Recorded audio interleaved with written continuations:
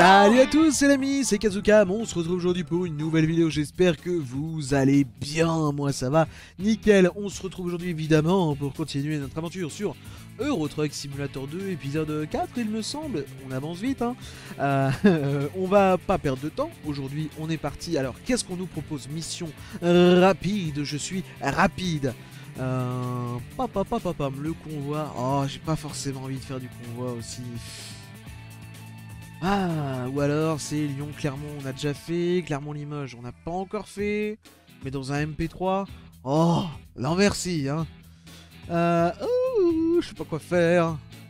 Oh, allez, on est parti en convoi. Oh, c'est un joli renoté évolution en plus. Allez, on est parti en convoi. Ah, je suis de bonne humeur aujourd'hui, je suis de bonne humeur. Eh oui, ah bah oui, évidemment. Évidemment, évidemment. Pendant le chargement, les amis, parce que là, on s'apprête à faire du très très lourd. Hein Attention, je vous invite à vous abonner si la vidéo vous plaît, ça m'aiderait vraiment énormément. Allez, la petite cinématique de convoi, pour ceux qui connaissent pas, évidemment.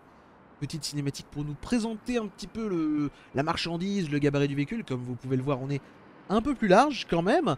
Et c'est pour ça qu'on va avoir des véhicules pilotes qui vont nous accompagner euh, dans la mission pour nous faciliter le travail. C'est pour ça qu'on aura des véhicules de police qui vont bloquer les, les, euh, les, croisements, etc. Vraiment, ça devrait être plutôt cozy cocooning pour nous aujourd'hui. Faut juste qu'on fasse attention euh, si on doit prendre des péages ou ce genre de trucs. Ça va peut-être être un peu tendu. On verra bien, on verra bien, on verra bien. Alors, peux-tu me passer cette cinématique? Elle commence à être longue là, mon ami. Non, tu veux pas? Espace, non? Ah, voilà. Alors, attention Merci de le, merci de, l'avoir mis en si gros, je l'aurais pas lu sinon. Vous êtes sur le point de transporter un chargement exceptionnel. Il y a deux véhicules pilotes pour vous guider. Soyez prudents et suivez leurs indications et suggestions dans l'advisor. Les convois exceptionnels comme celui-ci ne s'arrêtent pas au feu rouge et ont la priorité dans la plupart des situations. C'est quand même pas mal Lors de ces livraisons, des points de passage seront créés plus souvent pour sauvegarder votre progression actuelle. Bah merci beaucoup. Alors, portez une attention particulière à éviter tout conflit éventuel avec les véhicules pilotes et rester au milieu. Oui, c'est clair que si je commence à avoir un accident avec mes véhicules pilotes, on va avoir un problème. Ne pas conduire en dehors du trajet défini, ainsi que dans les stations-service, aires de repos, etc. D'accord, bon à savoir. Respectez les limitations de vitesse imposées par le véhicule pilote avant. On va se faire chier. Faire attention au trafic lorsque vous dépassez les autres conducteurs présents sur la route. Manœuvre de changement de voie, donc ça c'est important de s'en souvenir. D'abord, le véhicule pilote de derrière se met sur la gauche. Ensuite, le véhicule pilote de devant se met sur la gauche. Ensuite, on se met entre les deux. Si vous ne suivez pas ces règles, votre mission de transport exceptionnel peut échouer. On va éviter quand même, ce serait dommage. Allez, continuez. Pouf. Donc là, nos deux véhicules pilotes sont là. C'est classe, hein. C'est classe quand même. Allez, on est parti. Démarrage du Renault. Voilà, le contact et le moteur. Ok, plutôt bien fait. Hop, on allume les feux. On met euh, la marche avant. Petit euh, coup d'œil. Voilà, sur la cargaison, évidemment, bah, on met les gyrophares. Hein. On va pas partir euh, comme des blaireaux sans rien. C'est étonnant qu'il en ait pas plus quand même. un pauvre gyro sur le tracteur, un pauvre gyro à l'arrière. Bon, on pourrait s'attendre à plus quand même. Alors, donc là, il va falloir qu'on parte à droite. Euh, partir à droite. Donc on va tout de suite serrer à gauche un max. Euh, pour pouvoir être sûr de partir sans encombre. Allez, hop. On est euh, parti. Pouf. Allez, on y va. Tac. Donc là, faut pas qu'on oublie donc on est en convoi. Donc ça va déborder un petit peu de partout, évidemment. Même là derrière, je suis en train de me dire que je vais peut-être toucher les remorques. Non, c'est bon. Je suis pas si mauvais que ça. Donc on est parti, on est parti, on est parti. Il faut vraiment pas que j'oublie que je suis en convoi exceptionnel parce qu'à tout moment, à tout moment, je shoot un truc, j'embarque un truc que je devrais pas. Voilà, allez, faut pas que j'hésite à rouler, à rouler pardon, au milieu de la voie dès que je peux.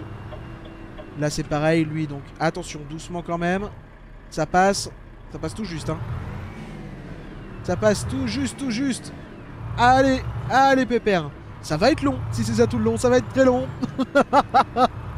Allez, on est parti. Bref, les amis, aujourd'hui, je voulais vous parler d'un sujet euh, qui va peut-être vous intéresser, du moins je l'espère.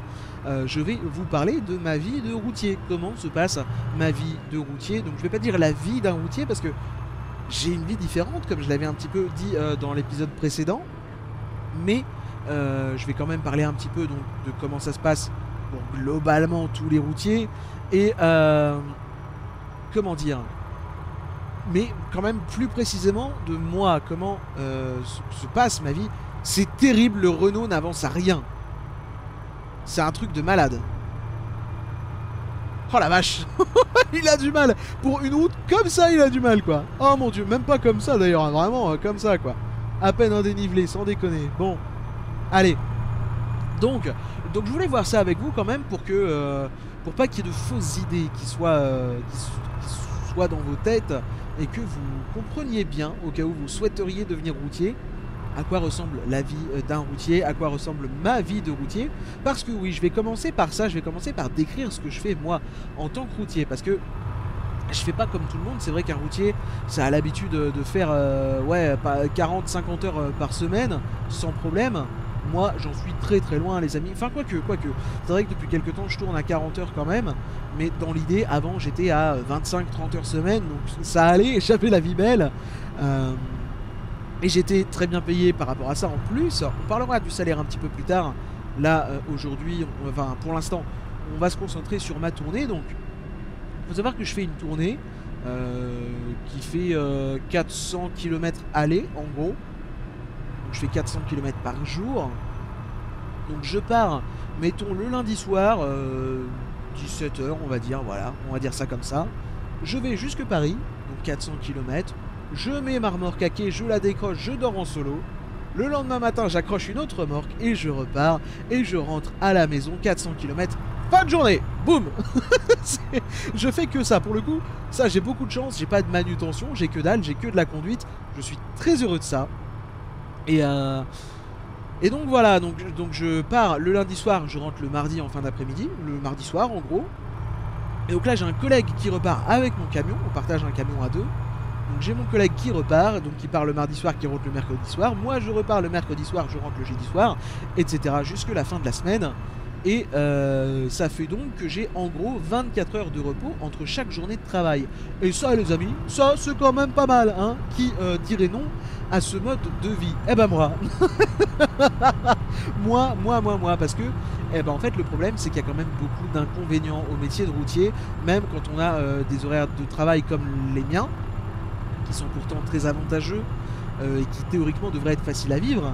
Le problème c'est que moi je suis youtubeur en parallèle, donc forcément, même si j'ai un rythme euh, de travail facile, bah derrière c'est moins facile à cause de mon autre rythme. Là je vais taper les trucs à droite, si ouais c'est bon, j'ai réussi à bien rattraper.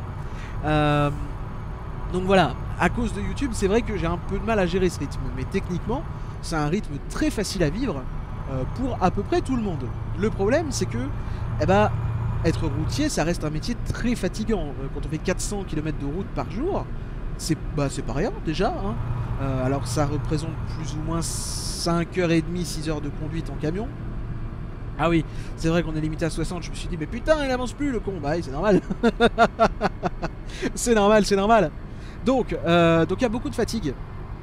Comme je le disais, j'ai de plus en plus de mal à tenir cette fatigue. Et en plus de ça, il y a une vraie fatigue morale qui s'installe, psychologique, puisqu'il y a du stress, il y a énormément de stress à cause de la conduite, il y a du stress à cause des temps de conduite à ne pas dépasser, à respecter des temps de repos.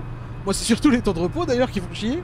Euh, il y a du stress euh, par rapport euh, bah, au fait que des fois on est obligé de faire des infractions au code de la route. Hein. Ça, c'est pareil, on dit les routiers, les routiers, il faut le comprendre. Des fois, on est littéralement obligé de faire des infractions. Et, eh bah, on se dit que si on se fait choper, on perd des points. Si on perd des points, il y a un moment, il faut comprendre que si on n'a plus de permis, on n'a plus de métier. Ça peut aller très très vite parce qu'on a le même permis euh, de routier que de voiture. Je veux dire, quand on roule avec notre voiture ou quand on roule avec notre camion, c'est le même permis. Donc ça peut aller très très vite. Vraiment. Il faut être très méfiant là-dessus. Donc, il y, a un gros stress là-dessus quand même qui, s'installe euh, avec le temps et c'est pas toujours euh, facile à vivre évidemment.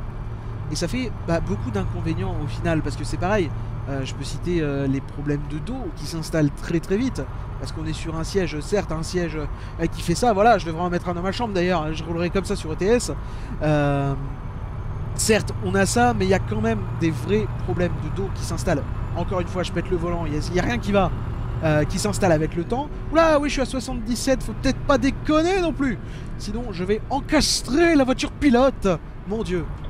Alors là, on va tourner à droite. Il faut que je prenne assez large quand même. Enfin bref, donc voilà, donc il y a tous euh, ces petits inconvénients dans le métier de routier qu'il faut avoir, en avoir conscience quand même avant de se dire je vais euh, faire routier. Mais il y a aussi beaucoup d'avantages. Je pense que l'avantage le, plus avantageux. oh la vache, apprenez à parler français avec Kazuka. Donc l'avantage le plus avantageux, c'est quand même, je pense, euh, le fait d'être libre. On est terriblement libre dans ce métier. On a beaucoup d'autonomie déjà. Enfin, tout dépend le, secteur de travail dans lequel vous êtes. Mais moi, je sais que sur ma tournée, j'ai beaucoup d'autonomie. Euh, je sais qu'en porte-voiture, par exemple, on a beaucoup d'autonomie. Bref, il y a, beaucoup de secteurs où on a énormément euh, d'autonomie. Et ça, c'est quand même un gros point positif d'être... Euh, ben, en fait, de limite être son propre patron, quoi. Pas loin, pas loin. Donc ça, c'est un... Oh la vache Oh, il monte plus Le camion, il est mort. Ouais, 30 km h oh la vache Allez, pépère Hop, hop, hop Allez Il en peut plus Il est au bout de sa vie, le Renault Oh la vache, mon Dieu Je sais pas combien de chevaux qu'ils ont mis là-dessus. Mama Bon, allez, on continue. Donc, il y a ce fait d'être très libre euh, quand on fait ce métier. Et pas que par l'autonomie que le métier offre, mais aussi par euh, l'activité au volant. Parce que, oula, euh, poids lourd, attendez, on va serrer au maximum à droite. Là, je peux pas serrer beaucoup plus. Ça passe? Ça passe très bien. Donc la liberté au volant aussi, parce qu'il faut comprendre que quand tu es à 9h sur la route, euh, il y a un moment donné, tu te fais un peu chier si tu fais rien. Donc t'écoutes de la musique toute la journée, tu chantes à tue-tête toute la journée, t'appelles les copains, t'appelles les collègues, t'appelles la famille.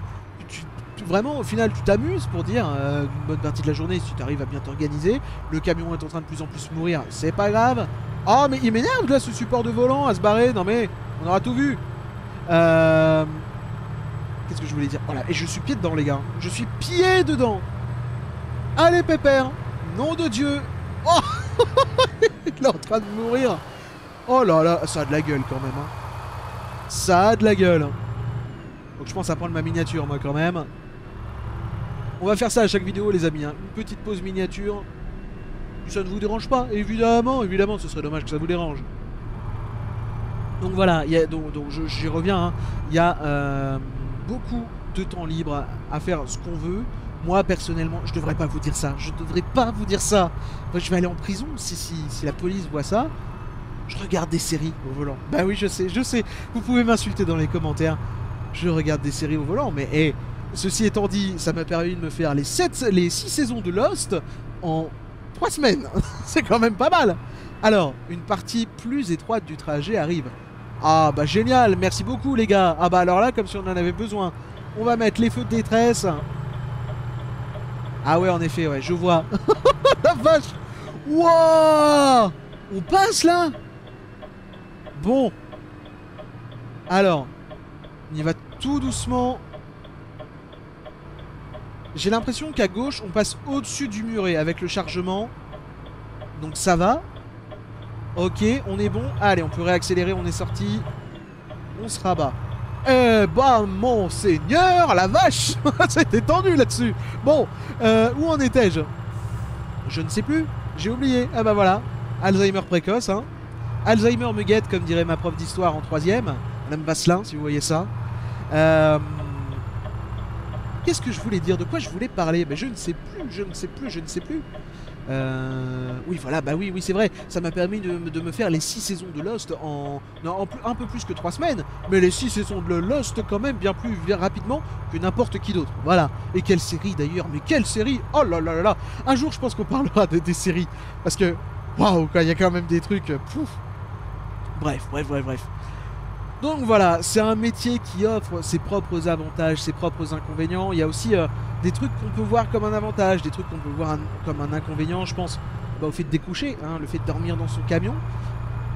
Euh, plus le temps passe, moins j'aime ça, mais c'est vrai qu'au début j'adorais ça.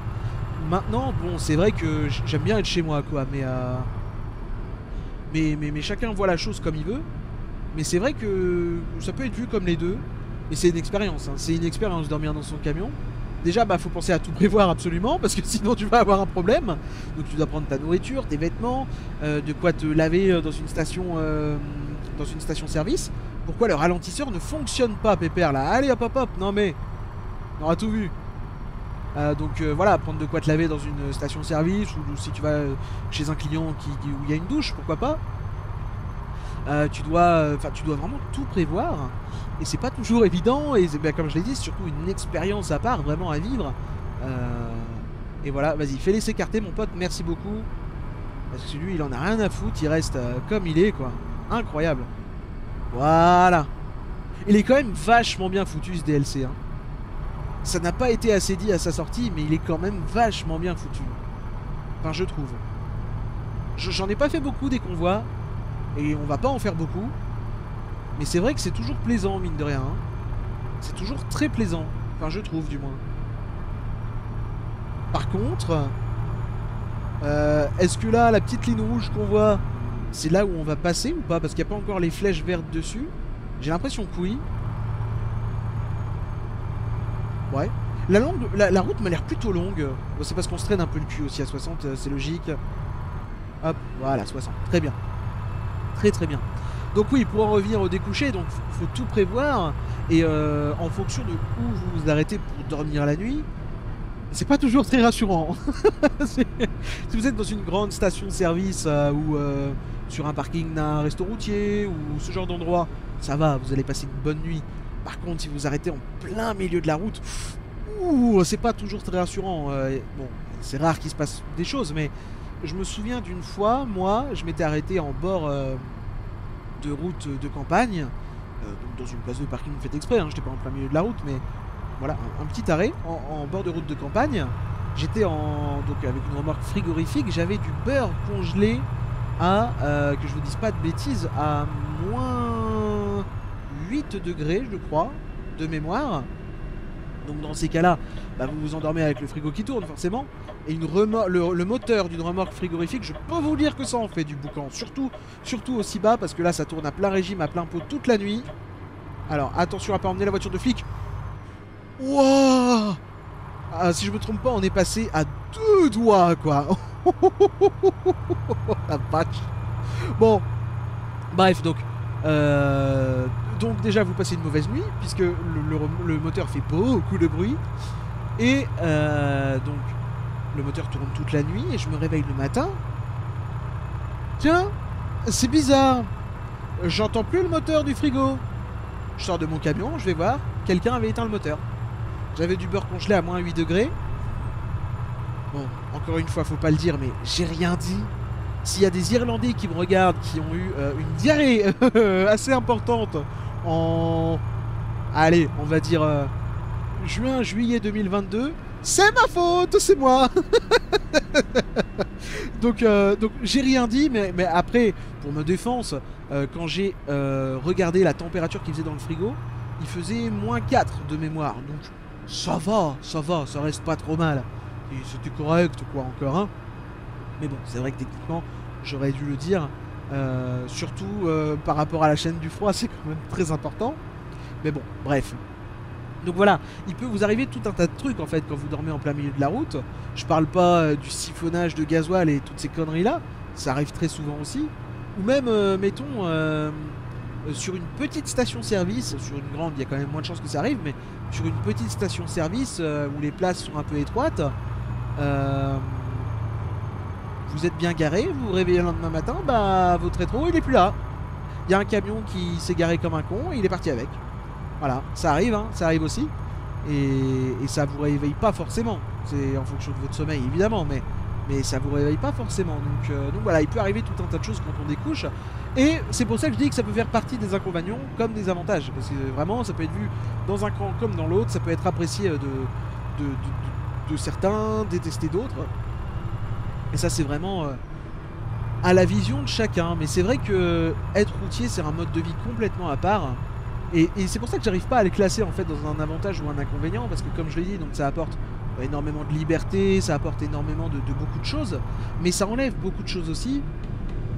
Et, euh, et bah d'un côté en fait soit quelqu'un aimera soit quelqu'un n'aimera pas et, c'est là un petit peu le problème mais bon voilà voilà voilà il y a aussi euh, quelque chose dont je, voulais parler c'est aussi le salaire d'un routier le salaire d'un routier j'ai aucun tabou avec l'argent euh, c'est pas du tout un problème pour moi alors attendez par contre on va serrer un petit peu attention lampadaire voilà parce que les cramtards, c'est pas qu'ils font peur, mais un peu quand même.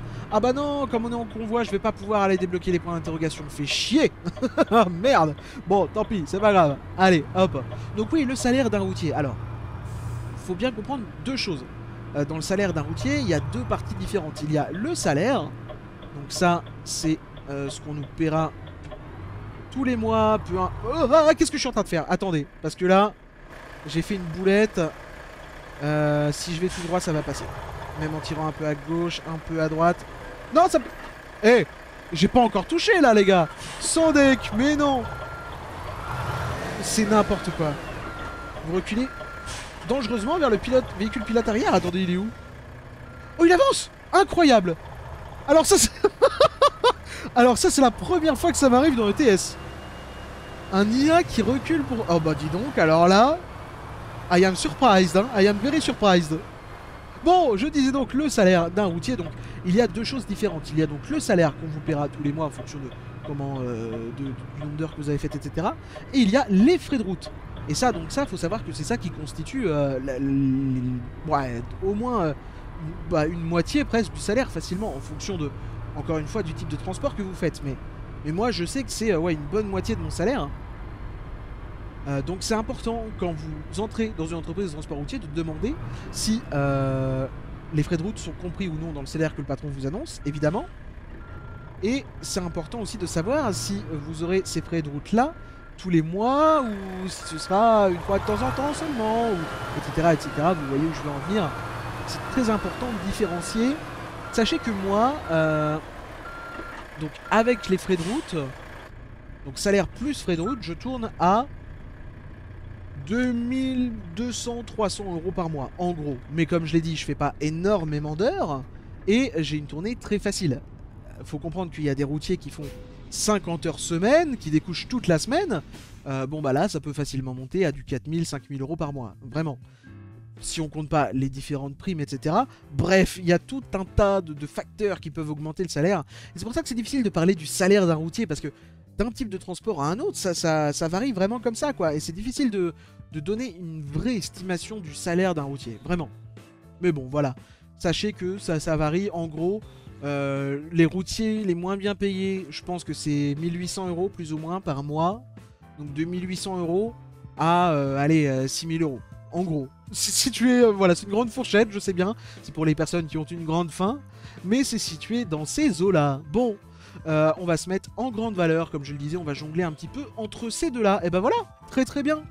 Très très bien, très très bien, nous pouvons vous aider à vous développer. Oui, merci beaucoup. Pour l'instant, ça ne m'intéresse pas, euh, quoique il va falloir quand même petit à petit qu'on se renseigne sur l'achat d'un camion. Eh oui, il va falloir à un moment donné. Euh, mais le problème, c'est que pour l'instant, je vais pas pouvoir acheter de camion en grande cabine.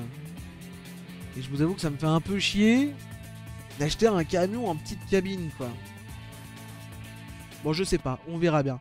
On verra bien, les amis. N'hésitez pas à me dire en commentaire ce que vous souhaitez qu'on fasse. Si on attend d'avoir un camion en grande cabine, ou si on s'en prend un dès maintenant, et plus tard on voit soit pour faire la transformation, soit on le donnera à un employé, et puis voilà, on verra bien euh, comment on fait. En tout cas, on va s'arrêter là pour aujourd'hui. Un épisode très particulier, j'ai oublié de faire la miniature d'ailleurs. Génial Ah là là Il va falloir que je prenne ce réflexe très vite. Bref, euh, donc un, bon petit épisode bien particulier avec un convoi, c'était très cool. Je pense qu'on en refait d'autres parce que c'est vraiment agréable une fois de temps en temps. Et, euh, puis voilà, j'ai pu aborder euh, cet épisode où, je vous parlais de, ma vie de routier, tout simplement, et des différents aspects de, de la vie d'un routier, de ma vie de routier. J'espère euh, que je vous ai suffisamment renseigné. Si c'est pas le cas, n'hésitez pas à me le dire encore une fois en commentaire euh, ou sur le serveur Discord où, on pourra en discuter et vous pourrez me dire ce qui vous a manqué comme information. Et ce sera avec plaisir que j'en reparlerai, pourquoi pas, dans un futur épisode. En attendant, pour le prochain épisode, dans le prochain épisode, on parlera donc euh, de ma vie de youtubeur hein, cette fois-ci. Et ça me permettra en même temps de, de peut-être faire un petit point chaîne, je sais pas, on verra bien comment on organise ça. Bref, les amis, j'espère vraiment que cet épisode d'aujourd'hui vous a plu. Si c'est le cas, je vous invite à vous abonner, à activer la petite cloche pour être tenu au courant de toutes les sorties de vidéos, liker, commenter, partager, ça m'aiderait vraiment énormément et ça me ferait extrêmement plaisir. En attendant, d'ici le prochain épisode, d'ici la prochaine vidéo, portez-vous bien, d'ici là soyez routiers, à bientôt, je l'espère, pour de nouvelles aventures, dans de nouvelles vidéos. Bisous